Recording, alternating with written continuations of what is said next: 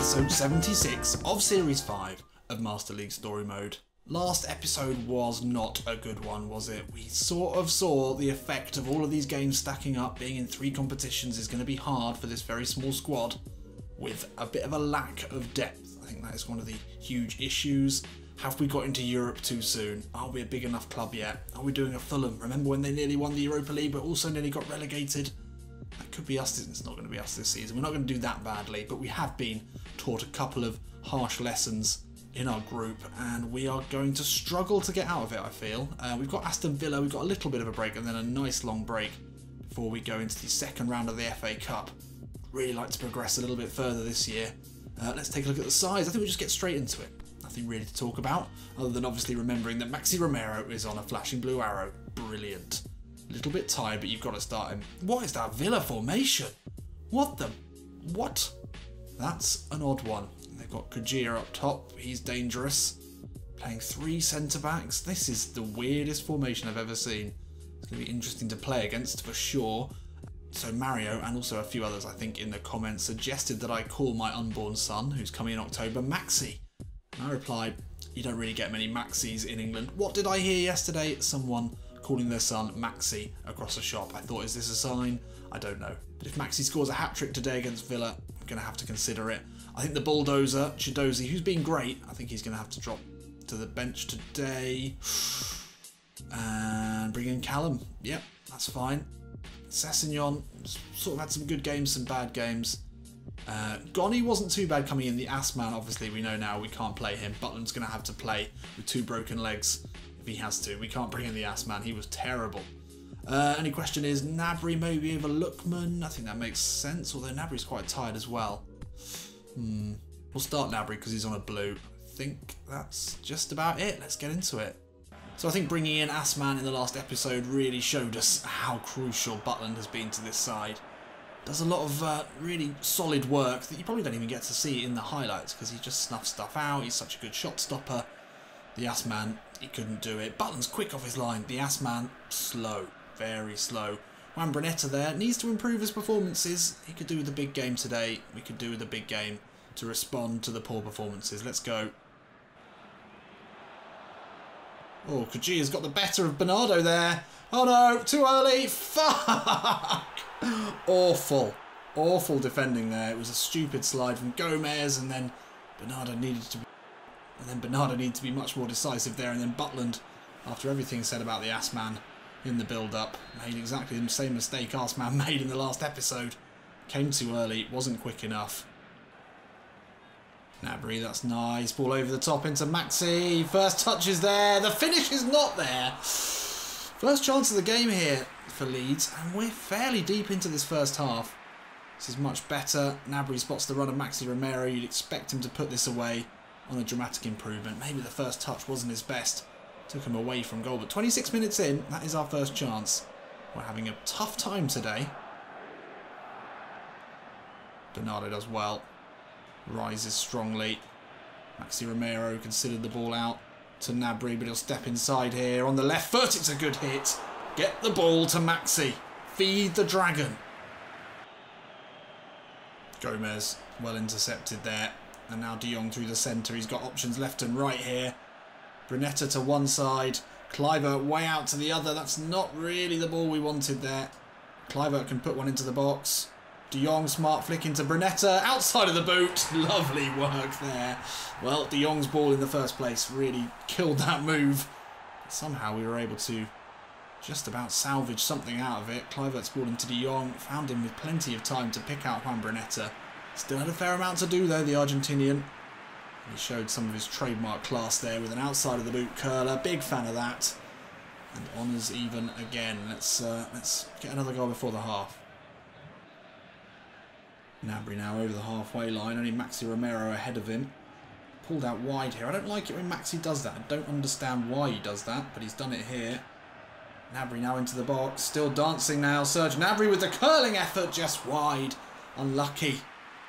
Romero came out wide. There wasn't really many other options for the young German, but he's actually not, not that young anymore, is he? But anyway, for the German to cut inside onto his weaker foot, not far off. Gomez, lovely ball out to Gnabry. Oh, he steps away from him, Bong. Maxi Romero's made a run. It's pushed in towards the Argentinian. The stooping header is well saved. Should have been 2-1 there, though. Oh, defenders, get back. Hogan is played through by Jack Grealish. Gomez across, got to be careful there. The cutback is on. Dealt with just about.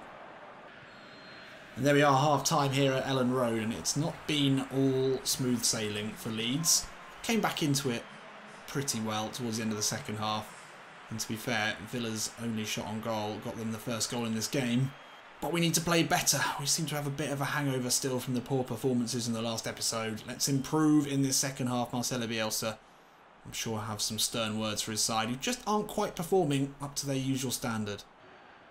Oh, Kodjia now. Grealish. Bit of pressure here from Villa. It's a lovely ball in, but Bernardo deals with it well and calmly away to Sessegnon. He can speed forward now. Sessegnon inside to Brunetta. Plenty of white shirts forward here. Brunetta over the top into Maxi Romero. Will let it fall here. That is absolutely top class. He's reached up into the very highest draw and he's pulled something out there. And it's the well-trodden path Juan Brunetta, unbelievable, through the centre. The clever run from Maxi Romero, the perfect timing, and the lovely volley. Could have taken a touch there, but you know on the form that he's in. It's going goalward. The keeper couldn't get a touch to it. And we're ahead here. Brunetta, nice ball into Kluivert. Uh, first time ball back into Juan Brunetta. Out on this left-hand side now. Juan Brunetta will cut back in. Sees the run of Gnabry. Smart back heel into C-Pats into the box. Juan Brunetta's there, he's offside. That's not what we wanted. So triple sub just to save some legs here. It's Lookman, Goni and Chidozi coming on. Chidozi coming into central midfield. I think Bielsa thinks he's got this one all wrapped up, even with a fair amount of time left. I think we probably do. Chidozi ball in. Gnabry, touch. Maxi Romero's fallen kindly here. We'll get to Juan Brunetta. No, it won't. Lansbury does well. Oh, chance hill for El Ghazi as he's through. Butland's out. Oh, El Ghazi's done very well there. Fuck! Bollocks! I can't believe this. Thought we had this game well under control. This might only be their second chance of the game. Done very well there, though, to pass it through. And that's very cool, calm attacking play there from El Ghazi. Fuck, right, fine. Got to score another goal. Maybe we were too quick to make those subs. Oh, Goni doesn't make a very good tackle there. It's back to Lansbury. Oh, shit. Well, Goni's come on and possibly cost us three points here. He was out of position for the second goal. And then here, he needed to make that challenge, but he didn't. He let the man skip away. And then Butland is beaten. Fuck. This has gone horribly, horribly wrong. Chidozi now out to Sessegnon. Sessegnon will cut inside here. Ball looking for Juan Brunetta. Oh no, it's Maxi Romero. It doesn't matter. We've scored. Have we scored? Oh fuck! Thought that might have been offside. Oh, and he's well offside as well. I thought it was Juan Brunetta. It wasn't. It was Romero, and he was acres offside. Seven minutes left here. How have we done this? Maxi, good ball out to Gnabry. So you got the dozer to aim for in the box, but he'll jump for it. Oh, it's a great effort from the defender. It's back to uh, Juan Brunetta now. Gets the shot off and it's blocked. Oh, it's, it's not going to be our day, is it? It's not going to be our day with only four minutes left. Good challenge, Bernardo. No. Oh, fuck. Oh, we've committed too many men forward now and Jonathan Kodjia is through. Chips it over Butland and that is game over here. We've been embarrassed at home by Premier League newcomers Aston Villa. Something has gone horribly wrong this season. We've made changes. Is that the problem? We had tired legs today. Gnabry now, it would only be a consolation. Fuck, it's a good consolation, but only a consolation. I can't even get excited about one of the best goals we've scored this season. Gnabry cutting inside. Lovely footwork here. It's a great hit, but where was that earlier in the game? Unbelievable. One of the biggest disappointments of the season so far. We've lost twice in the Champions League, but that hurts more. That really hurts. So that's a, a draw and two losses in a row in a game we should have won. We just gave them four chances and they scored four goals, but they were pretty easy chances in the end. It's not too much of a surprise. Oh, gutted. Gutted, gutted, gutted. I think we made the changes too early. We bought on Goni and he's just not good enough. He's not at a high enough level and we're eight points now off Manchester City who are yet to lose a game. We've lost two. We've fucked it already. Congratulations. We might as well just stop this all now. If it wasn't for the... Oh, we're already out of the Champions League. I was about to say if it wasn't for the Champions League. But we're not going anywhere in that either. We get a nice couple of weeks off to think about how fucking terrible that was. Oh, we've had a bid for Maxi. Shut up. Oh, of course Butland's injured. Of course he fucking is. Well, at least, thankfully, to all the people who said don't bother signing a uh, reserve keeper because the keepers never get injured. Turns out they do. Turns out they bloody well do. How long for? Just one week. But he would have missed this game. We wouldn't have had a keeper this FA Cup game. Thank fuck for that. We're on a losing streak. I can't remember the last time we're on a losing streak. Do you remember the winning streak we were on? I barely do. Feels like a million years ago. At least everyone's fit for this. This won't be an easy game. Bournemouth are a good side. We really cannot lose now. We have to win this one. So let me know in the comments, I'm sure you probably already plan to, what you think is the reason for this terrible patch of form. Is it bringing in all the new players? Do we think we're missing the Kobos effect? It certainly was effective for us. Oh, just not quite sure. Oh, Juan Fran, what a signing. He's won it back there. Fraser inside to Wilson. Ryan Fraser is through. The arse man is called into action. Makes his first save of the game. We need him to make a few of them today, I'm sure. We haven't seen him capable of that so far. So, free kick here for Bournemouth. Eight minutes in. Not a lot to uh, talk on. Except for it's been very fast-paced here. Oh, Fraser, lovely footwork. De Jong, no, bollocks. That's a goal for Bournemouth then. There's no way the ass man is keeping this out. It's going to be either the diminutive Scotsman or it's going to be Sandro, thankfully, into the wall. And the Arseman with a good punch. De Jong, nice flick into Romero. Can we launch a two-man break here? As the Dutchman just needs to time this right, and he does. Maxi Romero now surely gets us off the mark. Easy. Perfect counter-attack there. Lovely work from Frankie de Jong as well. Important flick on. And then time the pass just right. And Maxi Romero, well, don't know how he didn't score in the last game. Let's not forget he's on a dramatic improvement. He's already the best striker in the league. Get him into that position though, very unlikely he's going to miss. He should do it a bit more often. We couldn't do it much in the last game. He didn't have enough chances. Bernardo, what a pass into Lookman. That is quite spectacular. Brunetta now into Maxi on the left foot. It's a great effort there. Dug that out. Oh, it's fallen to Kluivert, and that is very poor defending and goalkeeping in the end. Kluivert didn't get anywhere near the connection on that that I'm sure he would have liked. That was a great opportunity though from Romero. I mean, it was a difficult opportunity, but he did well to get the shot off, and Kluivert reacted quickly there to the defensive error. We've scored a second here in quick succession.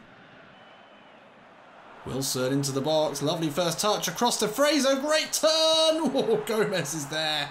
As the ass man was about to watch that slowly roll into his own net. And that was close. First big chance for Bournemouth. Oh, Sandro's through and he's onside. How is he onside? Assmann! Yes! Great work there from the keeper. And now Brunetta, if you can get this right, will find Lookman. Oh, it's end-to-end -end stuff here again. Maxi Romero somehow doesn't get it past the keeper. Oh, I thought we might have a rebound there. Ah, wow. I mean, Assmann with a great save and almost another goal at the other end. Kluivert into Sessegnon, into the box now. Ryan Sessegnon with the left foot, well wide. Well wide, unlucky. Still looking for his first goal in a lead shirt. And some good piercing runs from him in a lot of games. Hasn't quite been able to cap it off. Had a few assists, just no goals yet. De Jong now into Juan Brunetta on the right foot. Easy. Easy. And there we are. Easy. Fine. It's good stuff. Two goals in four minutes. Bournemouth have been good. That's the thing. And the game has been played at a very fast pace. You can feel it's got a real later round FA Cup tie sort of pace and aggressiveness to it. But we've come out on top somehow. Oh, Juan Fran despite his age, powering past Joe Gomez. Ball into the box is blocked. Rather fortuitously there. Kluivert, what a ball out to Lookman. It's not a bad first touch either. Preciado comes out to meet him. Lookman with a lovely turn. Low ball in, looking for Maxi Romero. That's a good goal. That's a very, very good goal. We've scored some slightly fortunate ones here. But from Kluivert's crossfield pass into Lookman's fast footwork here. Look to turn one way. Gave him the old razzle dazzle. That's a good ball in. Maxi Romero in at the near post. Confident finish from the captain. And that should be us done here, despite how bad we've been recently. Surely we can't throw away a four goal lead. De out to Kluivert. Romero flick into Brunetta. Maxi Romero now through on goal. Looks to chip the keeper. That is fucking good. I'm running out of superlatives for this man. Did I say oh, it was the last game that if I scored a hat trick I had to call my son Maxi Romero? But I'm still considering it. Could call him Maxi, middle name the Dragon perhaps. I mean, that is class. Some great goals today. It's probably the best of the bunch. As soon as he got into this position, you know there was big problems for Bournemouth. And that is such a delicate little dink. And that is game set match here. Maxi Romero, is that his first hat-trick of the season? Putting down a marker here in the FA Cup. We want a trophy this season. And Maxi now can score another. it's too easy. And that's four. And Bournemouth have folded here. They have completely folded. And Maxi Romero makes sweet, passionate love to that corner flag. I hope you're a little bit more of an attentive lover than that, Max. He's still young. He'll learn. He'll learn. It takes longer than that. Gomez, big header. Finds C-Pats. It's neatly worked. Romero back into Gnabry. It's Paterson through the centre. Surely not! Yes! As if it couldn't get any better. Get out the bagpipes, boys. Irn-Bru for everyone. there he is. He's been waiting to do that celebration. I don't think it's his first goal, actually. He's just hadn't scored in a long, long time. And the Leeds fans absolutely loving that. Cult hero at the club. Wee Callum, who has been the source of more pain than any other player, I would say, for Leeds. He's always been fairly dependable. In some ways dependable that he never scores, but today wasn't going to miss that one. Gnabry into Paterson, the two substitutes combining to make this one very embarrassing for Bournemouth and a lot of fun for us. It doesn't take the sting away from the ridiculous loss, but it helps. Oh, Paterson will pick that up. Oh, Romero, lovely touch. Away from Francis. Oh, and it's going to be Lookman. In for eight there. Putting down a marker here in the FA Cup. We are a team to be feared. Bournemouth looked really good in the first half. Maxi Romero does well there. Steps inside. Looking for his fifth today. There's a touch from a Bournemouth player. But fell to Lookman. Does a lot of his best work at the far post. Nipping in for little tap-ins. And he's done the very same there. So free kick opportunity here. Will it be Ryan Sessegnon to get his first goal for the club? He's only going to get it over the head of Ryan Fraser. And he does! And there we go. Finally. It's from a set piece and he's certainly no set piece taker. But Sessegnon today gets his first goal in the Leeds white in what has been an absolute rout. I think Marcelo Bielsa, who's a good man, he probably would have said at this point, nine goals. Just, just chill now. Just chill now, guys. Just chill out. And that is full time here. Nine goals for Leeds United in this FA Cup route. Four for Maxi Romero. But the big stat here is the big fat zero. And Assmann gets his first clean sheet in what looked on paper to be a really tricky game. And in the first half, was certainly panning out that way. We still finished with less possession. We created so many chances. Eddie Howe's side had no chance. Maxi with an 8.5 and Assmann with a 6. I mean, what more can you ask from your reserve keeper? Coming in for an injured Butland and doing exactly what we needed. He made a couple of saves, he was off his line well. And we're out of the second round. We didn't make it this far last time. We've got a tricky one next time out, up against Spurs. And then it could well be City after that. So we've got a difficult route to the final. But with the league probably already chucked away, we're certainly not going to win the league. It's going to take Man City to slip up in a big way. And Juventus next time out for any sort of chance in the Champions League. I mean, I'm so gutted. I'm almost the nine goals there has made me forget about how shit the last game was. I can't believe we lost in the league to Villa. After going ahead, that was just complacency. Out and out complacency. We've only ourselves to blame. Gutted. I'll see you in a bit.